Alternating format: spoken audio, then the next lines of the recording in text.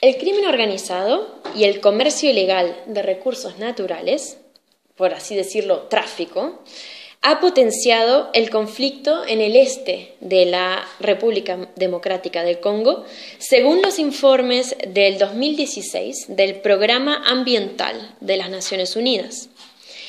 El gobierno de la República Democrática del Congo, apoyado por la misión de estabilización de la ONU, conocida por su sigla MONUSCO, está afrontando no solo una insurgencia política que nada ha cambiado con el nuevo gobierno, sino también el tráfico cada vez mayor de recursos naturales por parte de grupos criminales con vínculos transnacionales a gran escala, a escala mundial. Cada año se explota un valor de eh, mil millones de dólares de madera de bosque, carbón vegetal, productos animales como el marfil y son contrabandeados fuera de la zona de conflicto. Todo esto sin contar los ingresos provenientes del tráfico de coltán, usado en todos los productos electrónicos, que incluye celulares, eh, que tienen todos en nuestros que tenemos en nuestros bolsillos, hasta los aparatos de interpretación en esta misma habitación. Los expertos estiman que el 98% de las ganancias netas de la explotación de recursos, y especialmente el oro y el diamante, va a las redes transnacionales de crimen organizado que operan dentro y fuera de la RDC.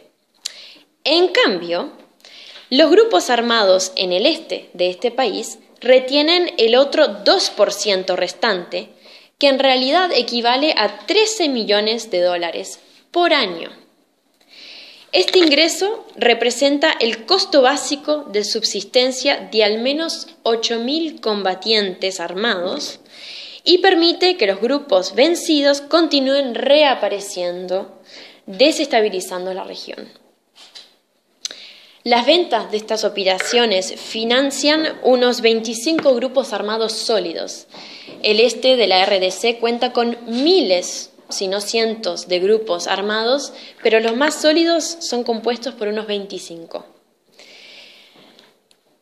Todo esto pidió la acción de expertos de la Oficina contra la Droga y el Delito de la ONU, también de Interpol y el gobierno de la RDC.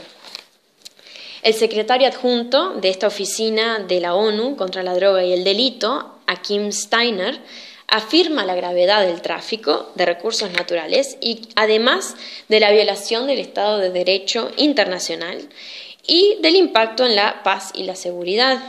Los delitos ambientales roban a los países el valor que podría usarse para un desarrollo sostenible y la erradicación de la pobreza.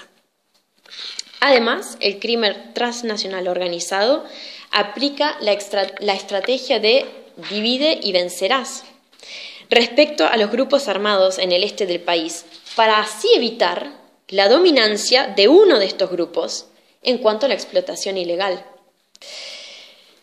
Muchos dicen, todo esto organizado por redes transnacionales, justamente. Muchos dicen, y estoy de acuerdo con ellos, que la riqueza mineral del Congo es una maldición para su gente.